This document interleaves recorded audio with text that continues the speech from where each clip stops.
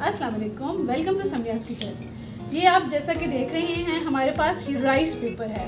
ये rice paper इस तरह से होता है, बिल्कुल लाइट सा और क्रैकर की तरह है ये। एक शीट है ये राइस पेपर। ये राइस के फ्लावर से बनती है और इससे हम आज आपको केक को डेकोरेट करना दिखाएँगे। तो चलें, स्टार्ट करते हैं। ये हमारे पास बाउल है जिसमें हमने पानी ले लिया है। और ये हमारे पास फ़ूड कलर है।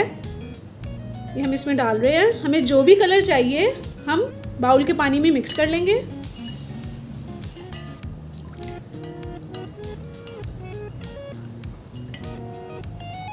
अब ये जो हमारा राइस पेपर है, ये हम इसके अंदर डिप करेंगे और इसको हम फाइव मिनट्स के लिए इसमें डिप रहने देंगे।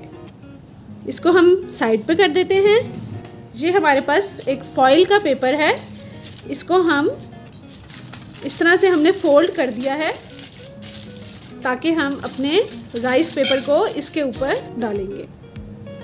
ये अब हमने फाइव मिनट्स के बाद ये इसका टेक्सचर चेक करना है। ये बिल्कुल सॉफ्ट होना चाहिए। तो इसको हम इसके ऊपर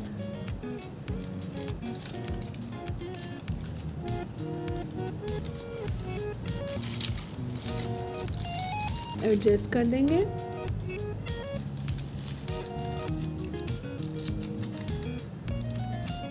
इसको अब हम ओवरनाइट के लिए छोड़ देंगे और फिर ये वापस अपनी कड़क हालत में आ जाएगा।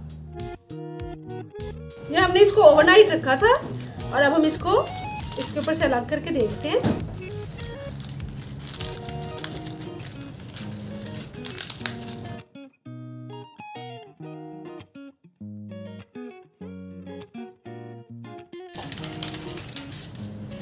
ये देखिए ये हमारे पास राइस पेपर हो गया है।